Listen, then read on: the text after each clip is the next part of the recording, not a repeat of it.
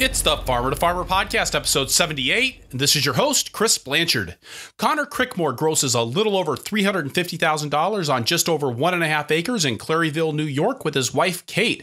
Marketing through farmers markets and restaurant sales, Neversink Farm has developed a reputation for meticulous, thoughtful, and simple production. Conor shares the history of Neversink Farm, including how he simplified production and marketing, increased his income, all at the same time. We discuss how he and Kate found the time to make decisions and improvements in the hectic and critical early years and the whys behind the choices and investments they made. We dig into the details Neversink's no tractor production system, why they've eschewed tillage, plastic, and more. Conor tells us about the details about how they made everything from weed control and irrigation to harvest and washing the produce easier and how they relay that information to their employees. I love Conor's approach to the management process at Neversink Farm, and I really appreciate how much he goes into the details and the background in this episode. Enjoy. The Farmer to Farmer podcast is made possible with the generous support of Vermont Compost Company, founded by organic crop growing professionals committed to meeting the need for high quality compost and compost based living soil mixes for certified organic plant production. VermontCompost.com. This episode of the Farmer to Farmer podcast is brought to you by BCS America. BCS two wheel tractors are versatile, maneuverable in tight spaces, lightweight for less compaction, and easy to maintain and repair on the farm. Gear driven and built to last for decades of dependable service. BCSAmerica.com. Conor Crickmore, welcome to the Farmer to Farmer podcast. Hey man, how you doing? Doing great. So glad that you could make time to join us today. You mentioned that um, here it is on a on a Monday morning, and we're recording. You mentioned that your farm is closed today. Yeah, we're normally closed every Sunday, and we're going to try to start to be closed Monday as well. Take more time off. Love that. I love to hear that. So, Conor, can we can we start off by having you give us the the lay of the land there at Neversink Farm? I think a lot of people have have heard bits and pieces about about your operation, I think it'd be kind of nice for you to give us a, a well-rounded picture, if you could. Okay, it's um, it's one and a half acres in production. It's vegetables and herbs. We do a lot of indoor growing as well. We have two movable houses, three big stationary houses, and uh, a tunnel. We have no tractor, and that includes uh, two-wheel tractors.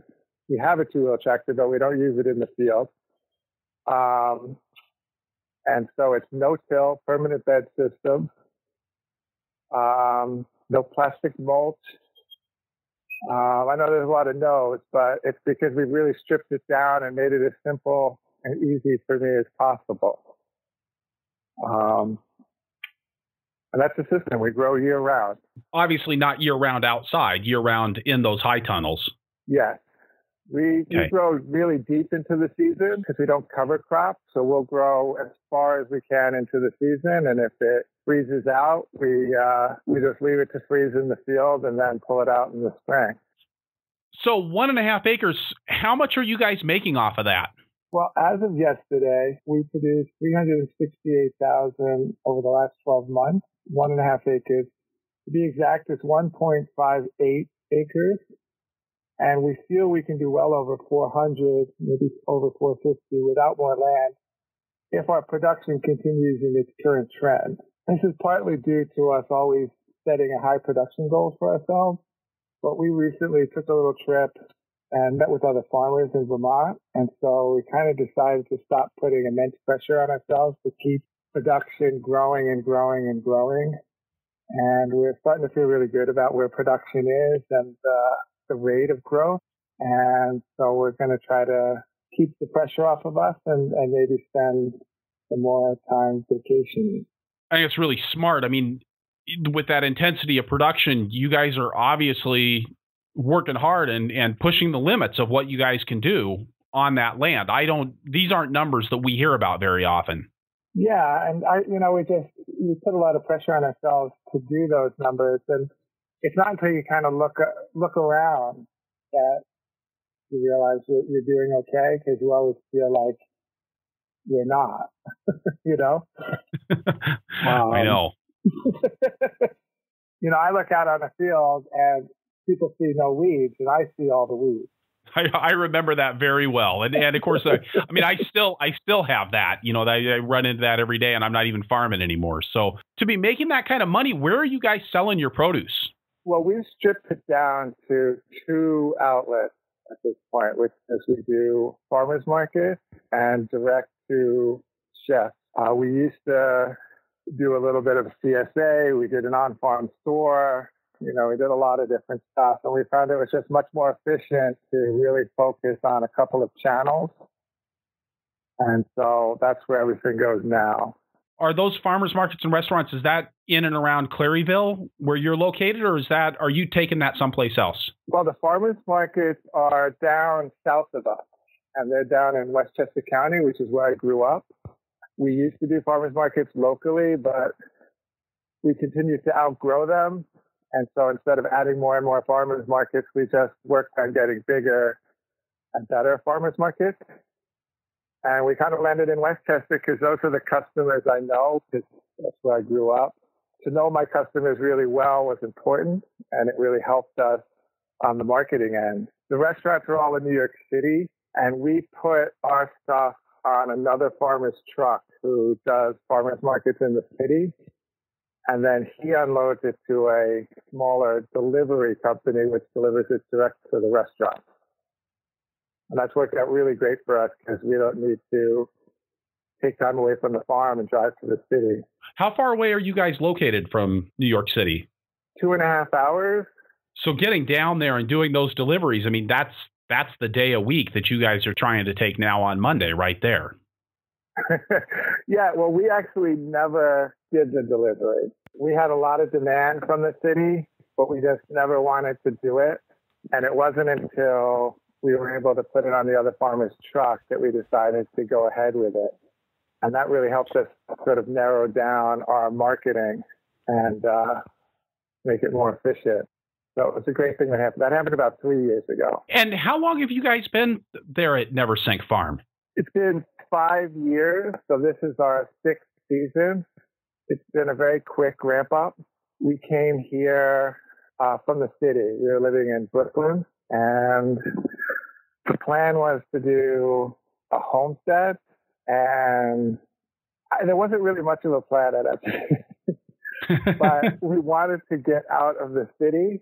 The city was great when we were young. It was lots of great food, going out, and then after marriage and you're in a very expensive apartment and not going out very much anymore. So we decided to move up here where I had a uh, fishing cabin and the property down the road became we well we were looking at the property down the road and we made a put together a project for the owners to lease it and they went they said yes and so we grew the farm off of that and we had $30,000 and that was the beginning investment, no other job. So we just put our heads down, worked, and now in our sixth season, we are buying the farm.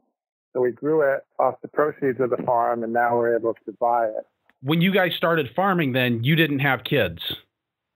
No, we didn't have kids. Uh, it was just Kate and I. So the first two years, I think would have been difficult because the first two years were very hard because uh, we, we we had no experience farming. We had I hadn't been to another vegetable farm until about three years ago. That would have been very, very difficult. So the kids are three. So we've had them the last, you know, for the last three years. And you guys had twins, right? Yeah, lucky us.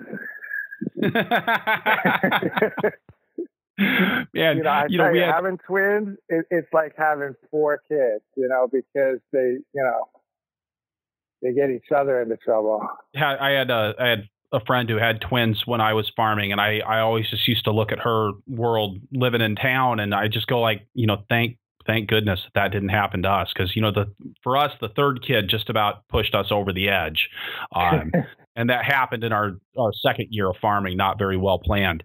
Uh, second yeah. year of farming on our own, and and it was I mean, what a challenge, and especially in a in a in an operation that's growing, which it sounds like yours has been a rapidly growing operation. Yeah, it was. It, it, it grew really fast for a couple of reasons. Looking back now, one was because it was so difficult. We wanted to streamline everything, make things as simple as possible, and so to do that, we needed to grow fast. We needed to make investments And the other reason was because we were kind of shut off from farming, we had this feeling we were never going to really be good enough. So we were just pushing ourselves and pushing ourselves, trying to solve every single problem on the farm just to make the farm more productive. And so it was those two things that just caused us to grow it as fast as we could and make it functioning, you know, and maybe the kids probably pushed it too, that, you know, suddenly you have a, a bigger financial burden on your life that you have to really put more effort into the farm. And and of course, I think kids also push you because suddenly things like quality of life become important. And of course, I imagine that you may have been working as hard, but Kate probably had to scale back on on her involvement in the operation. Yeah, but she worked pretty damn hard. Yeah, she was I don't. I don't. Like I don't want to take away any credit, you know, For but I know I know what a challenge that is. You know, to, I mean, you, you have to get you have to get Yeah. food on the table. You got to get diapers have to be changed, and you know, it it does cut down on the efficiency level. Yeah, absolutely. We were lucky enough to, you know, Kate's mother, she did stay with us a couple of summers to help out. And that was uh, just huge, you know, and, and just creating a simple farm was probably the best thing we could have done to be able to do it. Because, you know, we used to work sun up to sundown and now farm opens at eight and we try to get out of here before five. Wow, those are impressive farming hours. Yeah, and it just worked hard to try to achieve that. It was it, it was very important for us, and you know we we made a decision now to not expand further and continue to streamline what we have because we really thought we'd have to move to four or five acres to earn enough money, and that never happened. The production just kept going up, and we had to focus on infrastructure rather than expanding uh, acreage. I want to get into some of the technical details of, of how you do your farming, um, and I know that, that that's that's what you're really known for out in the community. But but as we're talking here, I'm I'm kind of fascinated by this idea of you know you guys said you you you dug in and you just started you had to solve every problem on the farm and you figured things out and you streamlined which is actually the opposite of what most people do when they start their farms. Most people pile on enterprises and then try to you know keep those all chugging along. I'm really curious how you guys went about your decision making process and and that problem solving process when you came into the farm with no experience and, and a very limited capital budget Well, the way we approached it was at the beginning, it's very chaotic. You know, we had some chickens at the beginning, we had pigs at the beginning, we were tilling with uh, BCS, and we were able to make really quick decisions if something wasn't working. And it's not just because it wasn't working in general, it may just not be working for us. And so we would cut it out pretty quickly. Um, so the chickens disappeared, the pigs disappeared. We focused more on maybe some hoop house growing. Uh, you know, when the tiller became a pain, we just got rid of it and decided we didn't need it anymore. And some of this may be due to the background I had. I was a data architect, and my job was to build these gigabyte, terabyte systems of data that needed to function very, very quickly. So you would always be looking for bottlenecks in the system, uh, you know, where to improve it. And it's very important to look for the narrowest one, not just any bottleneck. So that's sort of how I approached it. I looked at anywhere where we were squeezing our system. And that could be anything. And it could be a cheap fix. It can be just a change in how we do it. It can be an expensive fix. And we were not afraid of expensive fixes. We were also not afraid of throwing things out completely, even if we had made a big investments in them and sit down and figure out, will this pay for itself? Um, so we've changed every system on our farm almost on a daily basis. We didn't make a decision, we're not going to till. It just was a natural process. We don't need this tiller anymore. It's just wasting our time and it's not helping us. It's bringing up weeds. We have to keep lining up the beds. Now we have all the beds staked. They're all permanent. I have them all numbered so people can find them easily. I don't have to show them where to go.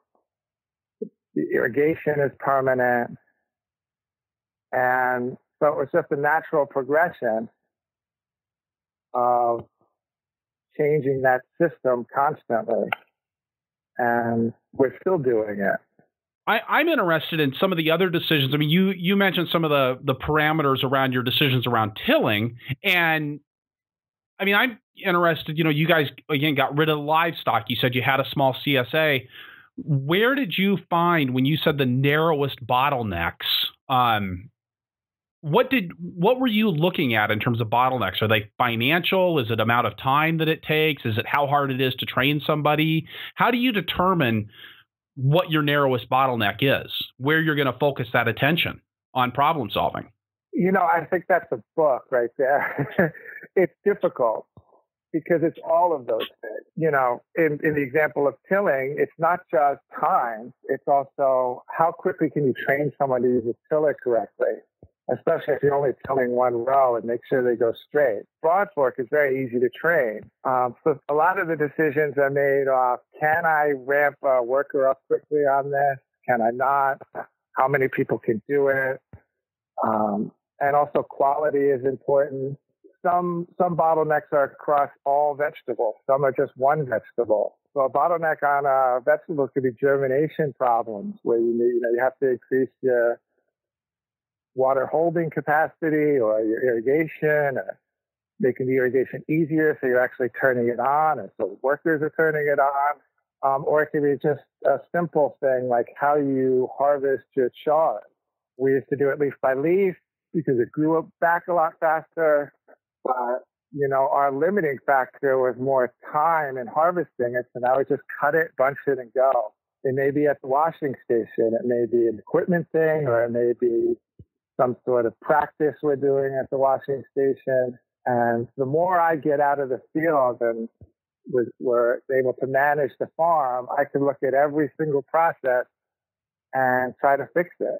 And we also include workers in that. So, you know, we ask them which is better for you, which is more comfortable, which is, you know, a faster method that you can do faster.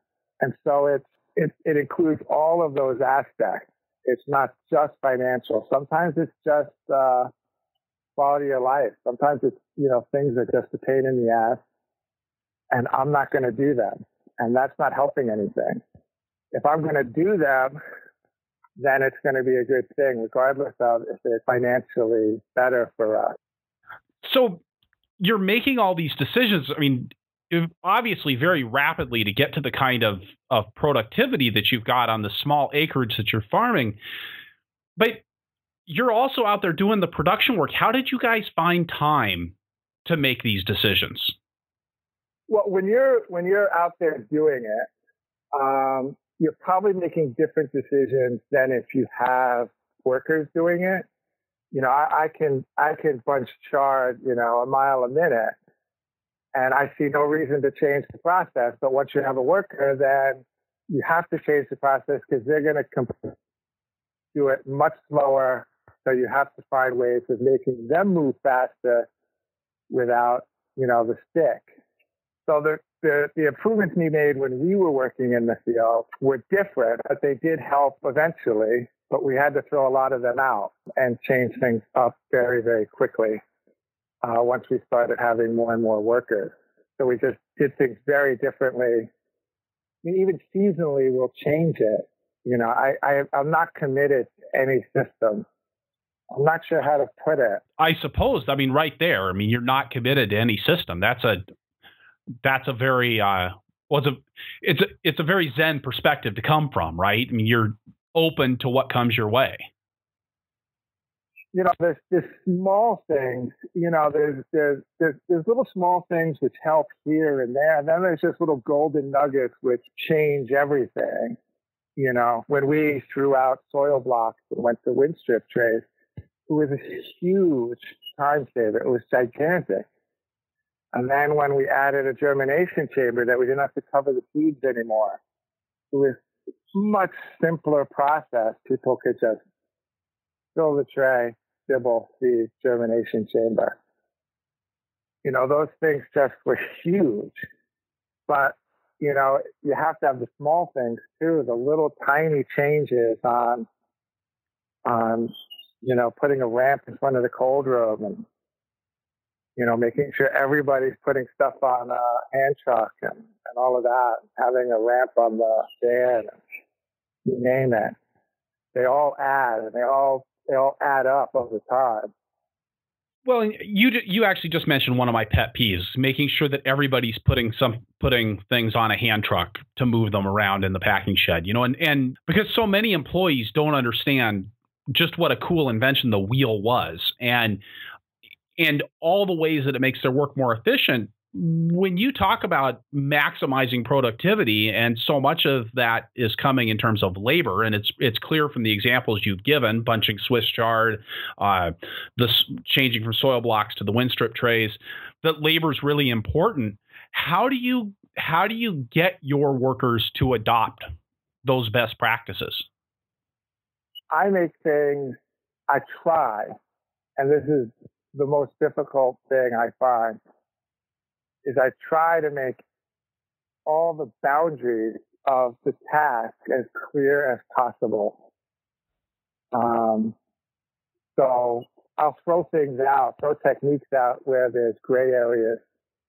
So if uh, whatever the procedure is, I want it as clear and simple as possible so that it's easy to do, it's easy to understand as best as I can do. And that's not always possible, but it's always the goal to make it simple. Sometimes workers don't like it, but it really is the only way to know that what you're doing is working. And if you need to find places to improvement, if everybody's doing something different, you don't know how to improve it. If we're doing it the same every day, you can make those small improvements and see the results. Well, we have standard procedures for cultivating, turning over beds, hand weeding, every type of harvest. So there's a task ticket that that I assign to a board where their name is. It has uh, the map of the farm with every bed number on it. Um, so they can get the bed number of where this task takes place what's in the bed so that they can make sure that the bed number matches what's in it and then it's highlighted on the map so that they can all three can match. And then when they're turning over, there's a list of exactly what needs to be done in order every single time, exactly the same. So that would be removing the vegetable matter, all of it, not some, not the tall ones, not the little ones, all of it. Forking, and exactly how to fork. There's a, I have an employee manual on how to fork and then how to spread amendments at the end of that. Um, and so every process is at least documented or shown to them what exactly what we're looking for. So it's not just wrap it with a rubber band, it's wrap it three times with a rubber band. You know, there's a number associated to it. There's uh, exact process associated to it. And that's what we find works the best, at least for us. It's really interesting because we we recently did an interview with Jack Hedin from Featherstone Farm out in Minnesota. Jack's farming, I think it's 165 acres of vegetables. You know, doing a couple million dollars in sales a year, and is was actually saying exactly the same thing for how he's assigning tasks to his employees. That it's it really has come down to having standard operating procedures, written instructions, and that that also creates some accountability around that as well. And I think it's interesting that that you guys on such vastly different scales are both using essentially the same techniques for managing your employees. Yeah, everybody, you know, has a lot of responsibility here, and that's sometimes tough for people when they start. But everything needs to be signed off on. Who cleaned this needs to be signed off on. When you take out a radio, you got to sign it out. You know, there's someone who signs out for making sure the gates are shut at the end of the day. It all needs to be signed, and I find that they actually get done. Just those initials make all the difference. We used to lose a radio every two weeks. Since we put in the uh, sign out, we've never lost a radio. Amazing how that works, isn't it? it is. And I, and, I, just just this week, I'm thinking about changing the system. I'm going to assign one number to an employee for the season because I think they actually get put in the charger better if I do that. And so we're going to try that. You know, it's just an example of always changing it to see if something else works and just making it a little bit better. Was this something that you had encountered in your in your previous life as a as a data manager, or is this a system that you put in place based on your experience on the farm? I think it's mostly based on the experience in the farm, but you never know what influences you, what what you're picking up and what you're changing. You know, you're always taking little bits and pieces. You know, we started out, you know, looking at what Eliot Coleman was doing and trying to do a little bit modeling after that. And then we end up throwing so much of it away and changing it just because we needed to make money. So you never know what little pieces you're keeping and throwing out and adapting and changing. Um, but you know, it's it's mostly through the experience on the farm of what's working and what's not. You know, we used to have a whiteboard and say, you know, go out to this field and there's some carrots there. They're next to the beach and, you know, just found that wasn't working. So then we numbered them and then that wasn't working. So we just kept changing it and changing it until we came to the task sheet. And we're actually thinking about changing those again so that I have a task sheet where I circle whether it's cultivating or hand weeding.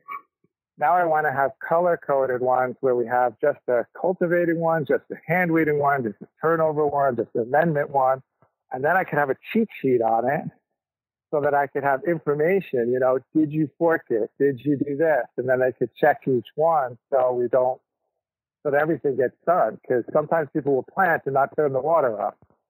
This way we can make sure the water gets turned on for the planting test sheet. So it just keeps, you know, changing over time and changing over time just to make it easier. Because I don't want to get upset just because the water's not turned on. I'd rather figure out a way to make it turned on without getting upset with people, if that makes sense. I actually think that's as much of a quality of life thing as as limiting your work hours and and adjusting your your weekly schedule. I mean, it it really is when things work smoothly on the farm, it's a better place for you to be as a farmer. Yeah, and you know, you have to like as I saying when we first started out, we needed to fix everything. You know, we felt you know personally defeated if something didn't work. Now we kind of have this 90% rule. If 90% is working and something's not working, we consider it not our fault and we're just going to live with it. Because it was just too much pressure.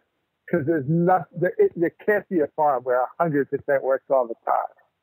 So we had to reduce that pressure on ourselves and on our workers as well. I'm actually surprised to hear that because when you're talking about pulling three hundred and fifty thousand dollars off an acre and a half, it feels to me like a place where every little thing had better work. Well, for me, every it's about time. square. It's about square footage working, right? So I need every square foot to produce, and you're going to have things that just didn't work but you have to move on. You have to pull it out. You have to plant something else and not stress about it. Just move on. Even if you know what the problem, how to solve the problem, because you know usually solving a farming issue like that takes a season. It's something you're going to change in the spring. Um, you're going to change your process a little bit. And so we just try to move on quickly and make a decision fast and move on to something else just increase production on something else. But we want to make sure every foot is working. So when we do a soil test, we do it for every 3,000 square feet, which is lots and lots of soil tests on the farm just because I don't want 10 feet of a bed not working. But we have to be able to allow a certain percentage of things to just not work because you cannot control it all. There's just, there's no way. So you just let it you just you have to move on quickly. At least that's what I need to do. I need to pull it out, not look at it, and plant something else without you know really quickly. You mentioned early on in our in our conversation that you guys are not using cover crops and that you're really trying you're really working hard to extend the season out out of doors as well as indoors. You know that you have stuff that that sits in the field until it freezes. Are you turning over most of your beds multiple times in a year? Yeah. What we do is we plant before the end of the day. So if it if it's lettuce head harvest day we'll harvest the lettuce heads we we use a lettuce knife, just uh, cut them off, take them out, and then we turn that bed over in the afternoon. Uh, where we don't pull the stumps out, we don't waste time with that. We just, if there's any weeds there, which hopefully there's not many weeds, uh, we amend it if it needs amending, fork it, and replant. So beds are out of production only for a few hours. That's true with beets. That's true with radishes. That's true with scallions. That's true with arugula, spinach, even peas. We just continue to continually replant, replant, replant all the time. And has that influenced your choice of crops that you're growing? Maybe it kind of it influences our choice of what we're going to do in starts because I really like starts because we can put them in and uh, not waste time. Uh, it really influences how we farm because, you know, it may just be 50 feet. You know, you may just have harvested 50 feet of cilantro. You need to get in there and a tiller is going to be a waste of time. Certain techniques will be a waste of time. So it's really influenced just how we go through our process because we need to turn over beds immediately. Um, and this will be inside houses or in the field. And I kind of want to have the same systems for both and be able to work them the same. Crop decisions, they're more, I make the decisions about crop based on how much money they're making. So if something's not earning a certain amount per row foot, then I either need to change the marketing on it, uh, figure out how to sell it in a different way, maybe increase its production, maybe solve a problem on it. And if all of that doesn't work, I need to get rid of it. So we've gotten rid of crops that we just couldn't make work for us because it was just more important for every every row foot to make money. And we made also, you know, when we started farming, we tried to grow really bizarre stuff. And we decided early on we were not going to try to convince people to eat things that they didn't want to eat. We want to leave that to other people and mm. sell them the things that they really wanted. And so we just increased production on those things like cucumbers and tomatoes, strawberries, you know, that, that always leaves the table first. But as we grew, and now that we have a little bit more time, I'm kind of putting sections aside where I can grow more interesting stuff for my own enjoyment so things don't get boring and to, you know, kind of have a little extra weird stuff on our harvest list for the chef. But we don't go into like full production of purple broccoli or you know. I think it's one of the really powerful things for farms that have chosen to move beyond the CSA model is that it really does give you more flexibility to focus on the crops that actually make you money. Yeah, we, we found that when we were doing the CSA, there was a, there was a couple of problems. One was you have a lot of little tiny customers and, you know, that's a lot of work to make them happy. So we were putting a lot of time without a lot of return because it's really a discount vegetable program. And I think that works on a certain farm. It's great. But for us, we didn't want to sell our vegetables at a discount. We were selling all of them anyway. It was time consuming to manage all of the expectations from these small clients. And we also didn't want to raise discount products. We wanted to do early tomatoes and we wanted to do, you know, trellis cucumbers.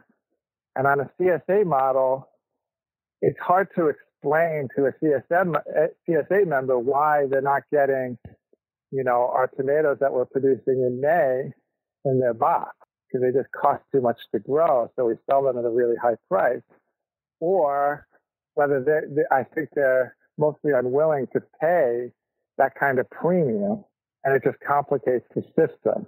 So we just ended up getting away from it. When you guys decided to move away from CSA, it wasn't necessarily a financial decision. It was a it was a management decision. It was a simplify. It was a, an example of something where you did the simplifying process that you discussed earlier.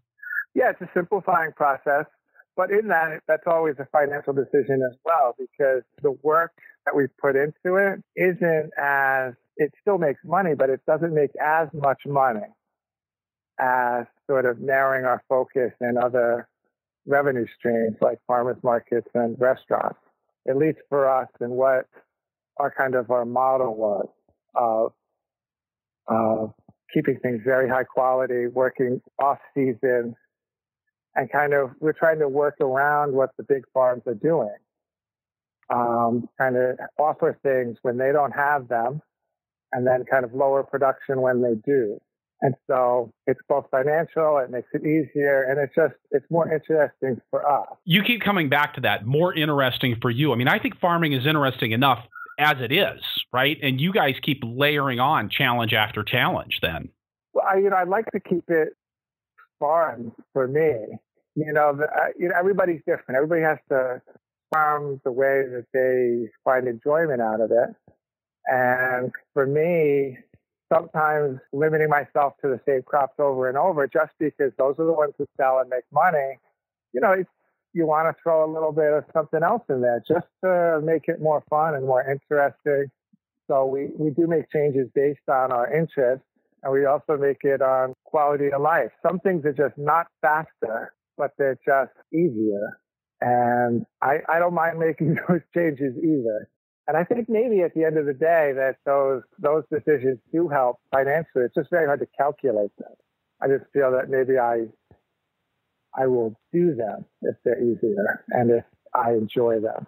So, with that, Conor, I'd like to take a break, get a word from our sponsors. Speaking of the financial side of things, and then um, and then we come back. I'd like to really dig into your your production system. Okay. The Farmer to Farmer podcast is made possible with the generous support of Vermont Compost Company, makers of Fort Vee and Fort-Lite potting mixes for organic growers since 1992. Founder and owner Karl Hammer got started as an organic vegetable grower, where he learned that quality transplants really mattered and that quality transplants come from quality potting soils. Just like the donkey in their logo, Vermont Compost Company potting soils aren't glitzy, they aren't glamorous, they're steadfast and consistent, stubbornly making certain that your transplants can get everything they need from just a few cubic centimeters of soil. And even though it's not all about saving money, Vermont Compost Fall Pre-Buy program can help you get what your plants need at the best price with the best shipping options. Their full truckloads and shared truckloads program organizes shipping to other regions in ways that sometimes get shipping prices down to the level you'd pay right there in the great state of Vermont. Plus, you pay a lower price for the potting soil. To get a quote from Vermont Compost, go to the ordering page on their website and submit the request a quote form. This form also adds you to their mailing list so you stay in the loop on the program. And remember, the donkeys that I mentioned earlier, they're the real thing. You get a little bit of donkey manure in every batch of Vermont compost potting soil. Feed your plants the best. VermontCompost.com. Bandwidth for the Farmer to Farmer podcast is provided by BCS America. A BCS two wheel tractor is the only power equipment a market gardener will need with PTO driven attachments like the rototiller, flail mower, power harrow, rotary plow, snow thrower, log splitter, and more. You name it, and you can probably run it with a versatile BCS two wheel tractor. The first time I used a rototiller way back in 1991, it was mounted to a BCS two wheel tractor and it spoiled me for life. When you get behind a BCS, you can tell that it's built to the same commercial standards as four wheeled farm tractors. I've used other tillers and mowers, and I spent most of the time when I was using them thinking of how much easier it would be with a BCS. On my own farm, we went through a number of so called solutions before we finally got smart and bought one for ourselves. Even though we owned a four wheel tractor to manage our 20 acres of vegetables, the BCS tackled jobs that we couldn't do with the larger machine, from mowing steep slopes and around trees to working in our high tunnels. Check out bcsamerica.com to see the full lineup of tractors and attachments. All right, and we're back with Conor Crickmore from Neversink Farm in Claryville, New York. Now, when we were chatting over the break, you know, we we were talking about these systems for the farm and how I wanted to I wanted to get into discussing like what you did, you know, but but you kind of said, well, here, why don't you take it? I think people get too hung up on, you know, maybe this one method. Like everybody's moving to tillage tarps and raised beds and power harrows. And you know, it's, it's much more important to find out what's working on your farm, make your systems better and making them more efficient and making them financially worthwhile.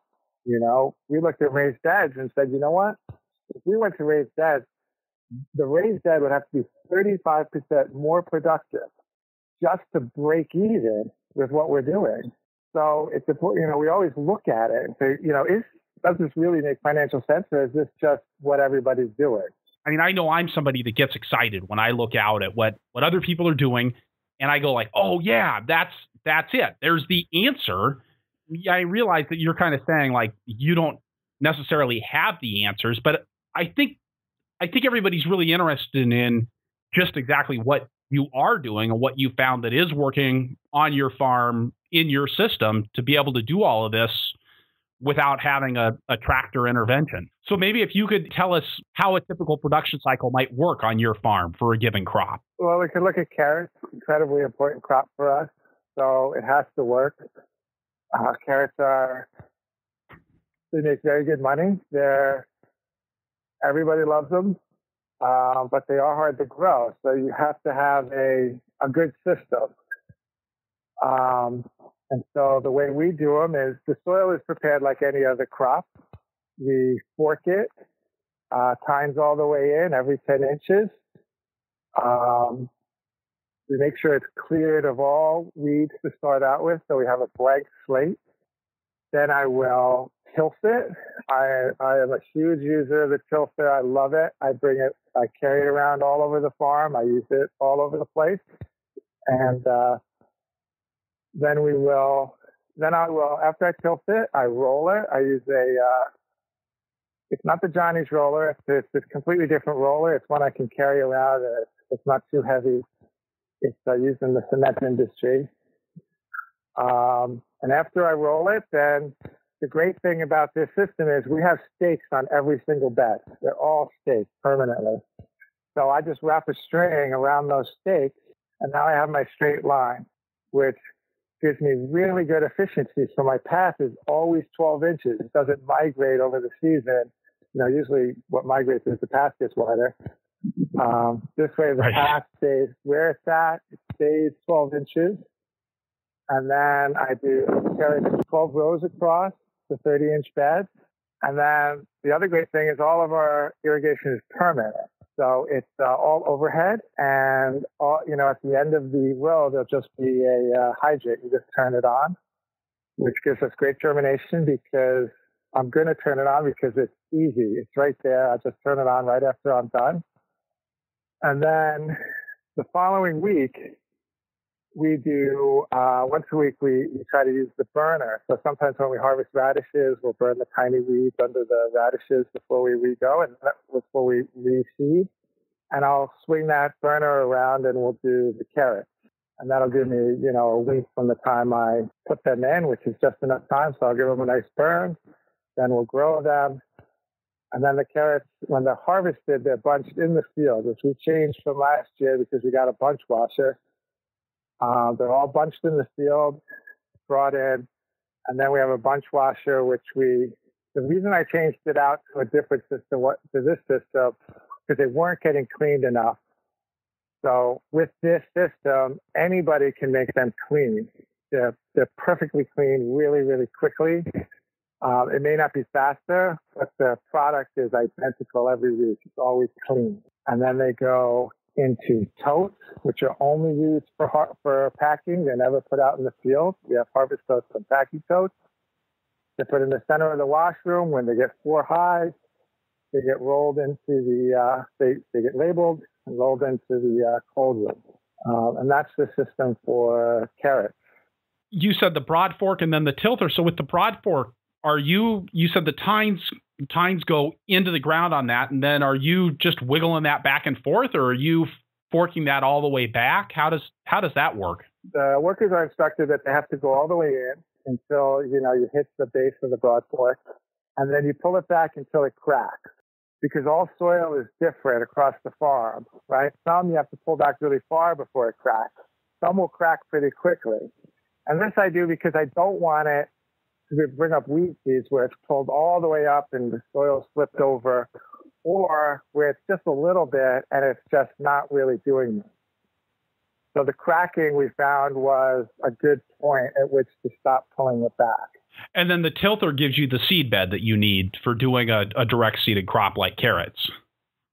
Yeah, and we, we started off with very rocky soil, but we removed every single rock. And we, anytime we find a rock, it has to come out. The rule, no matter what you're doing, if you see a rock, you take it. Because um, the tilther doesn't work very well with any rocks or anything. Yeah, so we tilt it nice and smooth and then roll it, and it gives you a really nice seed bed to start out with. Okay. And then how are you doing the seeding with a crop like carrots? I use the uh, four row pinpoint seeder. Um, we we experimented with the six row, but it was just too it was too hard to make sure that it was working all the time. Um, so now we have a lot of the pinpoint seeders, which are dedicated, some dedicated to pelleted, some dedicated to fine. We keep them in different places on the farm, so they're handy. Um, so we really like it. They're, they're cheap. You can have a whole bunch of them. And then are you rolling the bed after you seed with that pinpoint seeder then to, to pack in those seeds? Yeah, I will roll it right afterwards. I'll roll it with that cement roller again. Um, it's expanded metal like the Johnny ones, but it's two smaller rollers. Um, really easy to get in and out of a, a hoop house, get it around the field. So I'll just roll it again, make sure that its uh, seeds are covered, and then immediately water from overhead. You tell us about that irrigation system. You said you're watering from overhead. You don't have sprinklers that are just one bed wide or anything, do you?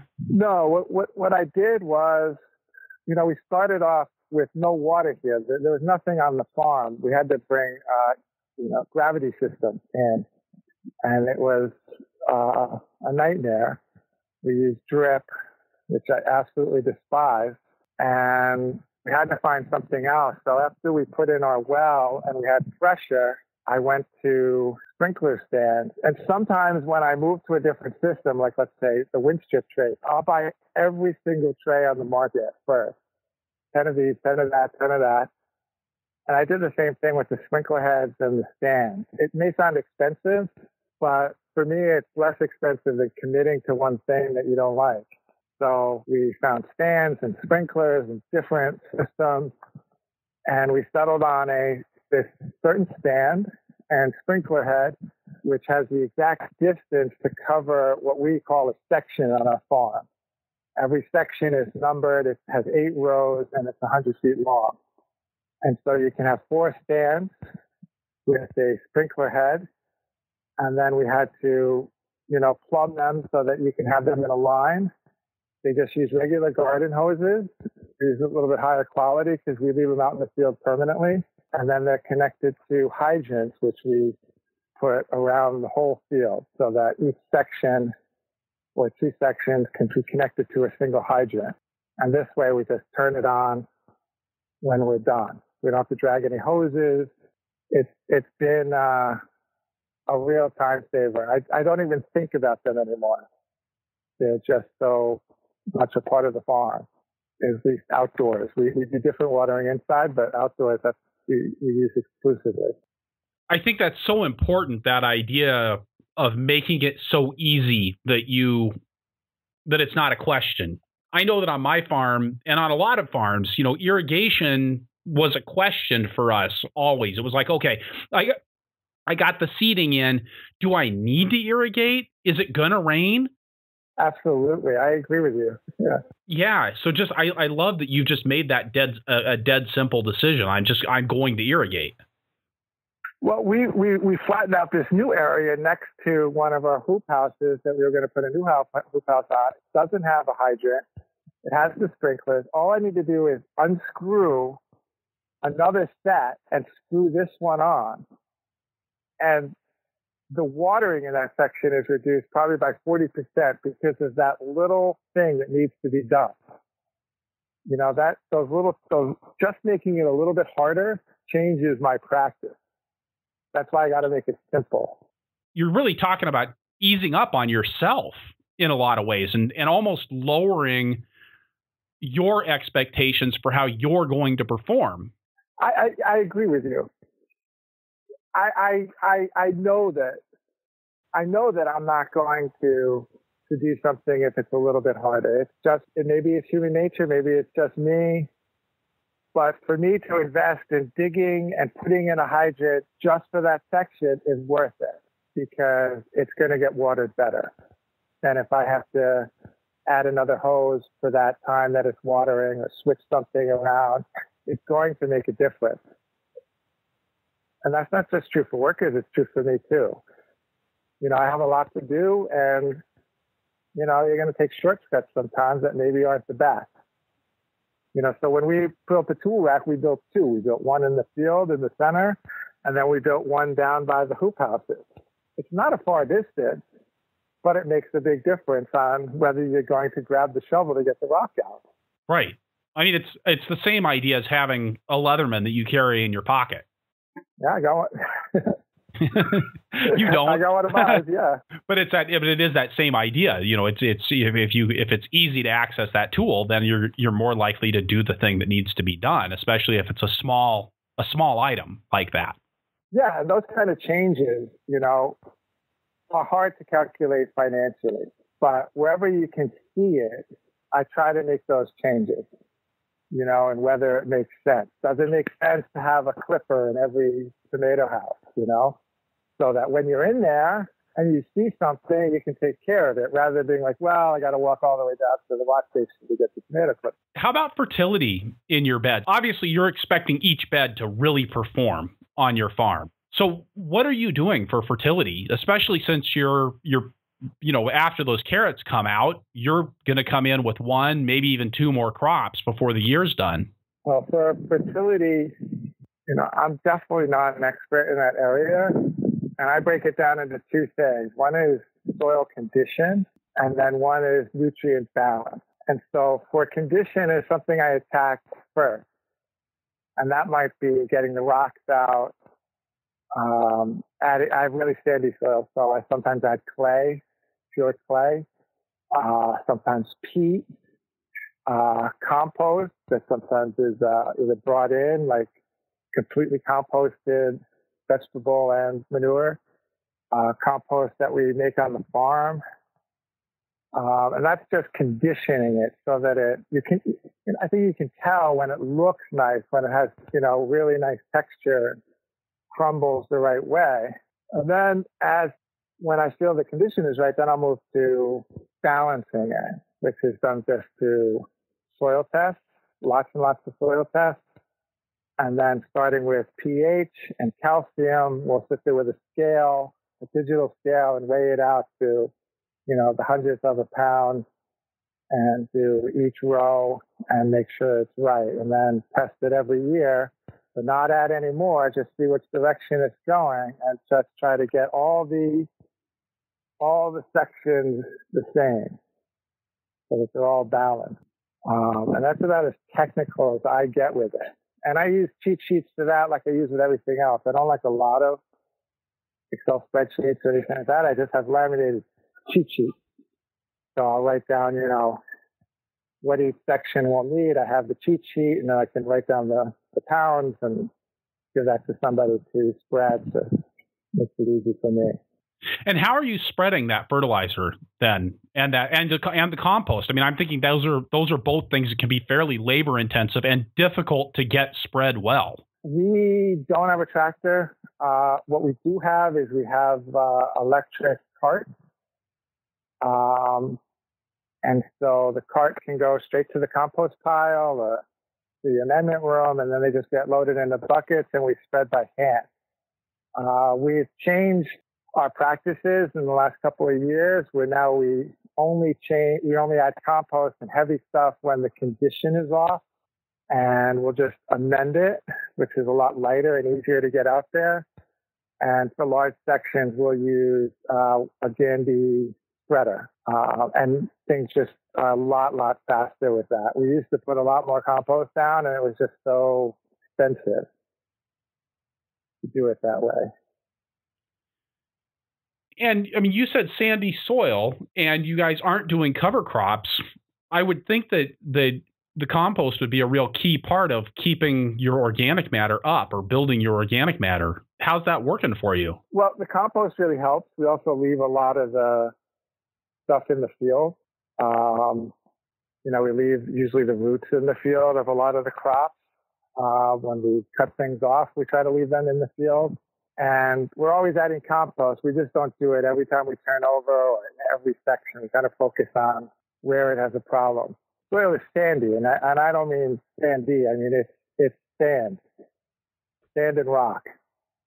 So we put a lot of effort straight up front rather than a little bit over time. It's a lot easier to get a whole bunch out there, you know, and then over time just adjust the amendments. And then, you know, when you flip through your Instagram feed, one of the things that's really clear is there just aren't a lot of weeds on your farm. How are you guys doing your weed control? Um, we do it all through cultivation, but it's it's incredibly important to us. It affects everything on the farm. Uh, it affects harvesting. It affects uh, how big your beets are, how big your carrots are. And so it's, it's, it's easy to calculate, okay, I'm getting, you know, 50 bunches of carrots in half an hour. How much am I making? But when you're paying someone to cultivate, it's hard to calculate because it's spread over everything. It increases the efficiency of everything. And so it's become incredibly important. And so I don't like any weeds at all. Um, and we, so I spend a lot of time training people on how to cultivate and uh, we cultivate with hand tools and there's different systems for different types of vegetables on how to do it quickly, but we do it very early. We do it very often. And hopefully by the end of July and August that it's gone down a bit because we need more time to harvest. But it's always been something that's been very important. We use a flame weeder, but because we're in production so often, it's not used all that often. You know, I don't, I don't leave beds for a long time. You know, I know people will put tarps down, but that four weeks to me is production time. I, I don't want to be doing that. So we do more cultivating than we would do a flame weeder. It would be more pre-emergent when just after we harvested something to kind of save time on pulling out little tiny weeds or something. What what tools are you using for the cultivating? Uh, we use the collinear hoe a lot. I really like it. I like the thin one. We've been using the wheel hoe a lot, but I, I have the new spinning wheel hoe, which I like a lot more. And so we're using that now for the paths. Um, it churns up the soil better uh, rather than having people, you know, pull the wheel hoe back and forth, which is sort of a gray area. I, you know, this the, the spinner hoe you just go straight forward and it's done. Tell me about that tool. It's, that's not something I'm familiar with. It's from Terrateck, and uh, Johnny sells it. It's got a uh, like a hula hoe blade, and then it's got a spinning metal wheel that churns the soil a little bit. Uh, they have different widths, but I only use the one for the pad. Because if anything's hanging near it, it's going to churn that thing up too. But it, it's a great tool. And then for the flame weeder, we have two. One that we bought, which is 30 inches wide, and then one that we had made by someone, which we use inside the greenhouses. And it's thinner, so we can get it around different smaller areas. Is that flame weeder on wheels, I'm imagining, because that would make it more predictable how it's going to perform with different users using it. Yeah, the one we bought came with the wheel, and then the one we had made has uh, has uh, a wheel, has a a wide, nice flat wheel that um, doesn't cause a divot, but it's, it's hard to describe. It's just a very narrow flame weeder that we made to use with the, the standard single flame weeder. We just have a hood with wheels, and so that it can be moved around really easy. And you bring the 30 inch one in a house, it's a bit much. That's why you have the little one. And you've mentioned a couple of times that you have multiple versions of tools around. You you know you said like you've you know you've got snippers in every house. You've you've got two tool sheds stocked with tools for getting things done on your farm, even though an acre and a half, it's not that far to walk. But how are you deciding where to make those kinds of investments in your farm? Well, for like a specific tool, right? Because that's sometimes where it's easier to describe how you make uh, an investment, especially an expensive tool. You know, those are those are hard to make a decision. You're like, well, is it really going to save me time? Is it going to make me money? I just don't know. Like a good example was we bought in the spring we bought the paper pot transplanter, which is an absolutely ingenious tool. And so, but we, you know, we've got to work it into our system. How do we do it? You know, um, how am I going to get workers to use it? It's expensive. It's it's it's like a seeder. It's easy to use, but really easy to to use badly. You know, things get clogged. you know, hopper is is emptying too fast. You know, there's lots of subtleties, even though it's easy to use. And so for me, I see it, I buy it, I try to work it in the system. If it doesn't work, it ends up on the pile. But I I will try to see if it's going to work. And I feel like those investments are really, really important. So when we've been using the paper pot transplant, uh, it's just so fast to transplant that I'm changing my system based around it. And it's one of those tools that if I'm talking to a first year farmer, I say you can wait on a germination chamber, you can wait on a fancy van, you can wait on table heat in your prop house, but this is a tool you've got to get right away because you're going to do it and you're going to do it fast. And I wish I had it. but we will always be looking for those tools, but some of them you're either past or you're not there yet. And sometimes it's that decision. It's not whether to get it or not and whether it's uh, going to work. Most tools are going to work in the right system at the right time in your farm, right? We, we know that there's certain tools we want but we're not there yet. We're maybe two years out and we're just not the right time yet. And there's other tools that are ending up in the barn because we've moved on, even though they're great tools, but they were at a different time and they're no longer valid. So what's what's an example of a tool that you know you're going to need in two years, but that doesn't fit your operation now? That's easy. Uh, the iGrow. Yeah, and what is that? Well, when we do tomatoes, we need to balance the the heat, the water, the ventilation so that we get maximum production. At the beginning, you just want to grow tomatoes. Then you want to grow more tomatoes. Then you want to make sure they're healthy. Then you want to extend the season. But right now we're at the point where we want to extend production. Want highest production possible. So I have a thermostat for everything. You know, thermostat here, thermostat there. And then I get it dialed in perfectly. It takes me a few weeks until it's perfectly dialed in.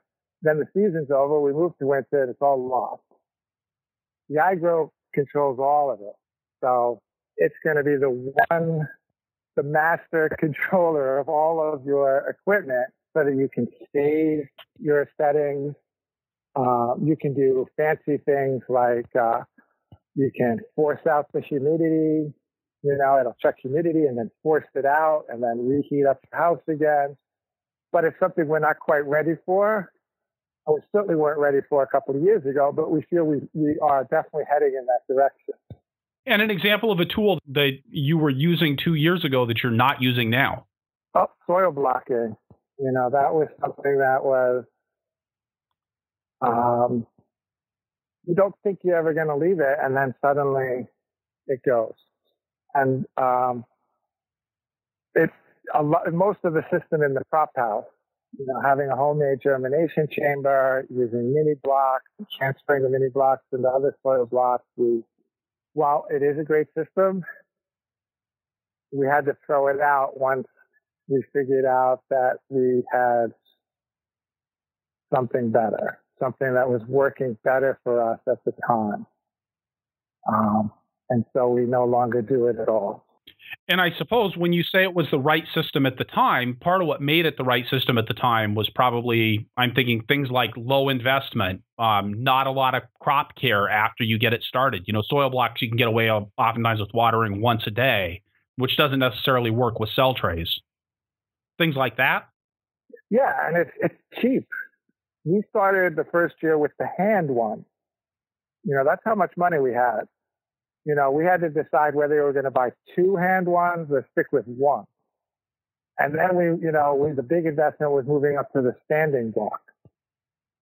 You know, so you know, it's very little money we started out with. So you can start with nothing. You can mix your own soil. You know, thirty bucks, you got a hand one, and you're you're running.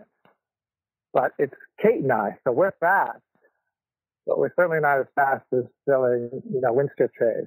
And now that we do the paper pot transplant, there's a whole other tray system, which we've got to work into the system. So, and, and, I'm just curious, what are you guys using for potting soil? Well, we've been using a local one for years. Um, but as we've moved to like the paper pot transplanter, which is more delicate, and needs really fine soil, we're moving to Vermont compost in the fall. Okay. And is that based on having done some trials with that? Yeah, we definitely tried it out um, because we were kind of screening a lot of our soil. And so we tried it out, and it's definitely where we want to be.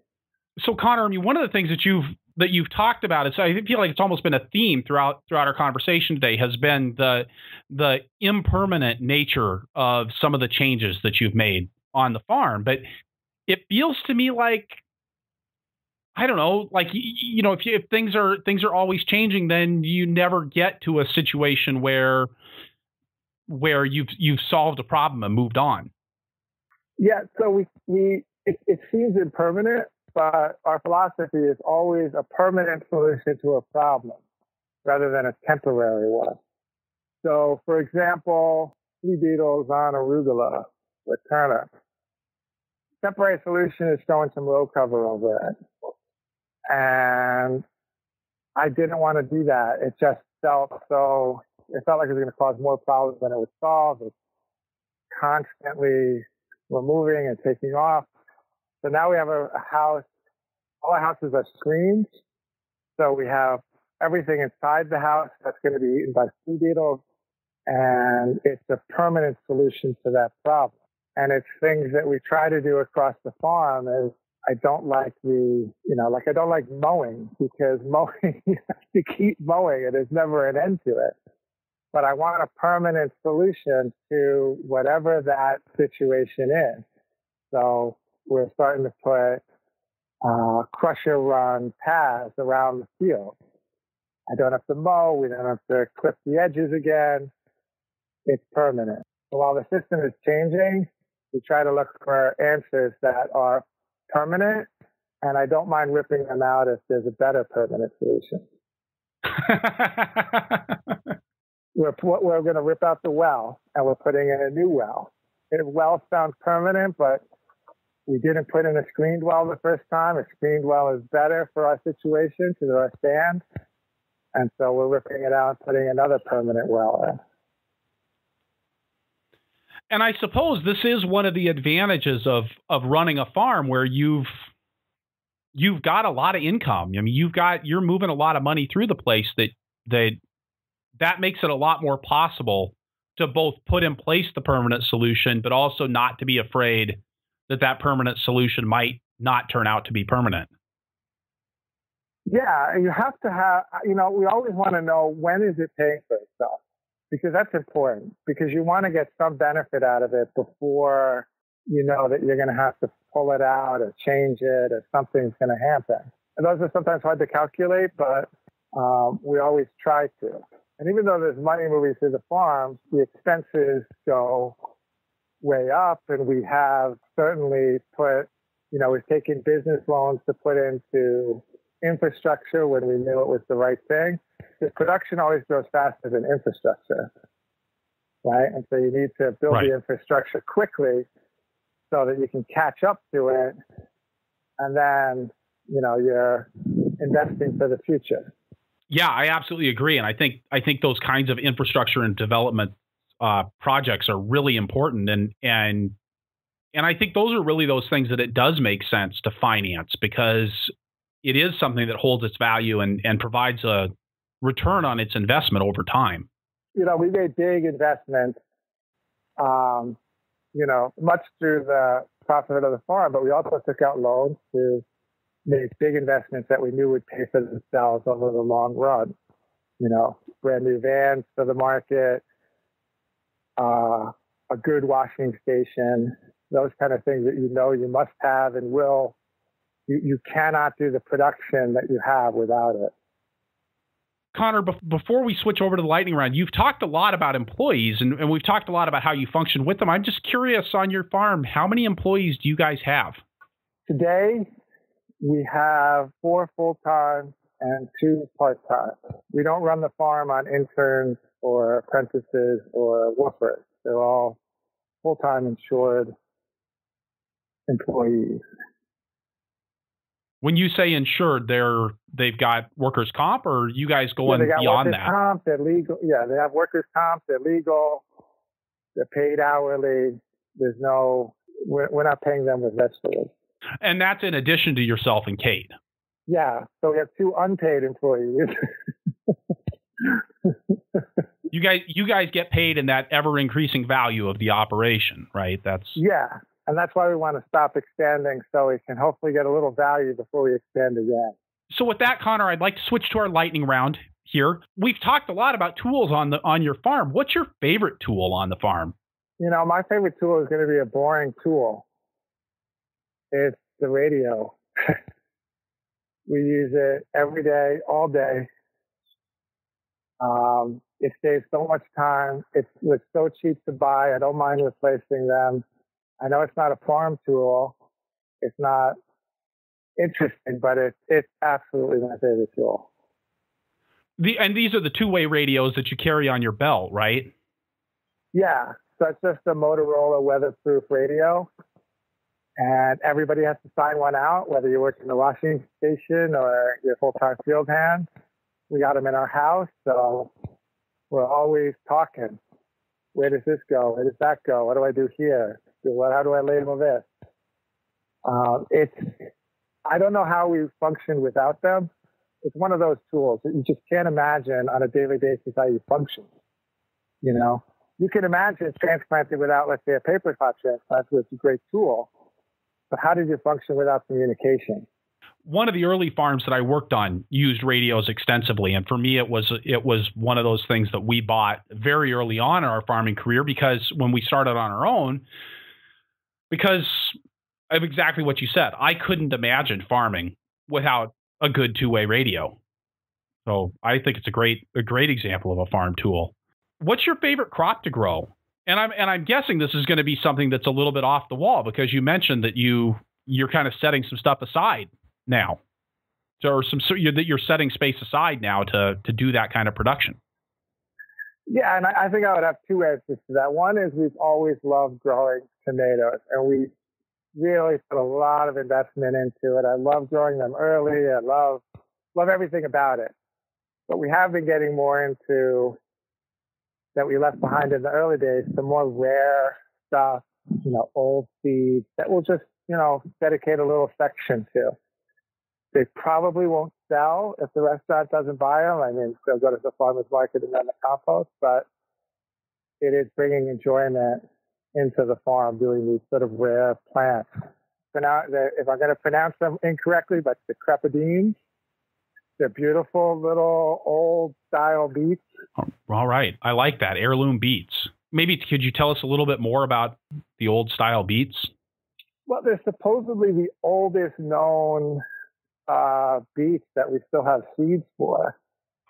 So this may be the romantic side of me, but it kind of feels like you're tasting the past. It doesn't matter whether they taste better it's that you're tasting something that maybe when they were first developing beets and making them into the big round, juicy, sweet things we have today, what they tasted like. That's interesting. And if you could go back in time and tell your beginning farmer self one thing, I mean, not that you're, I mean, you're still very much, I think, a beginning farmer, but if you could roll back five years and tell yourself one thing at that point, what would it be? I tell myself two things. Uh, the first thing I would tell myself is it's going to get a lot easier. The second thing would be get the paper pot transplanter and don't buy the filler.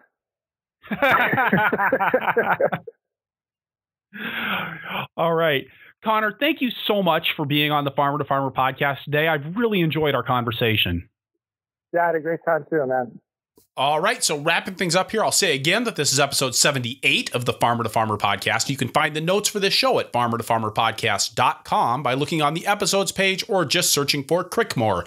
That's C R I C K M O R E. If you value the podcast, we'd really appreciate your support. You can become a patron of the show by setting up a monthly donation through Patreon, which is kind of like Kickstarter for ongoing projects. It's a great way to support the behind the scenes effort that you don't hear from research and scheduling to editing and getting the show online. Or you can do a one time donation through PayPal, which would also be awesome. Speaking of which, I would like to start the tractor as a shout out to a few farmer to farmer patrons Dan Briesbois, Jonathan Bruderline, and Bob Blanchard. Thanks, Dad. Plus, if you use the Amazon.com link on farmertofarmerpodcast.com, Amazon kicks a percentage of what you spend back to the show, and it won't cost you a penny more. Go to farmertofarmerpodcast.com slash donate for more information and all of the relevant links. Thank you so much for your support. You can sign up for my email list at farmertofarmerpodcast.com or purplepitchfork.com. I'd like to note that reviews and referrals are the bread and butter of our business, so if you enjoy the show, please bounce on over to iTunes or Stitcher, leave us a review. And I love to get your guest suggestions. This episode is a direct result of those suggestions, so please keep them coming at farmertofarmerpodcast.com. Thank you for listening, be safe out there, and keep the tractor running.